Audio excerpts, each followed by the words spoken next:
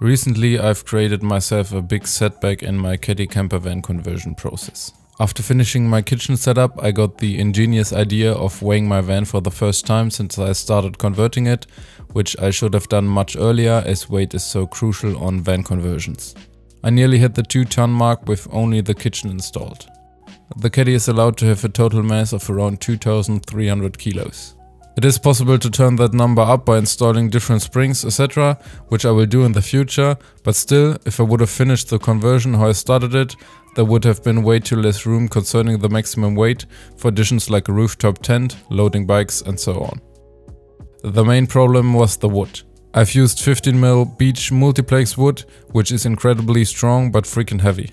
Whether I liked it or not, I decided to redo pretty much everything, using lighter wood and of course fixing stuff I wasn't totally happy with in the first place.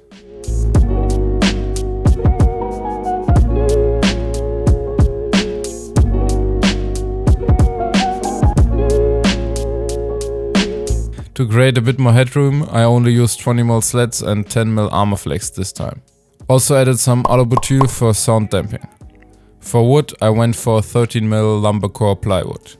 It's not as strong as Beech Multiplex, but still decent enough.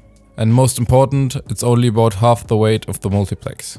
This time I fixed the base plate to the original threads of the rear seats and the tie-down hooks, additionally to screwing it into the slats. I changed the PVC flooring for a grey one, as the brown one was a bit too much concerning all the wooden plank themed interior panels. All the edges got aluminum profiles now, because the plastic ones got a ton of ugly marks very quickly.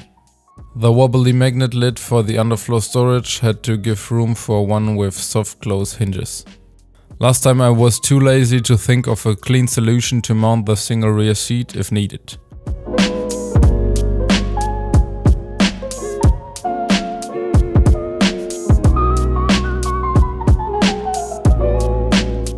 Meanwhile I also applied carpet lining to all the blank metal parts except for the doors as I don't like the look of them once they are opened and only halfway covered in the carpet lining.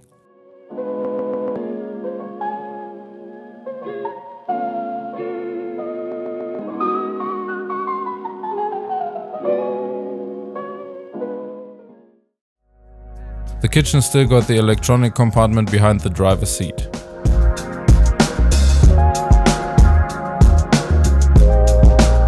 But it has two soft close drawers now.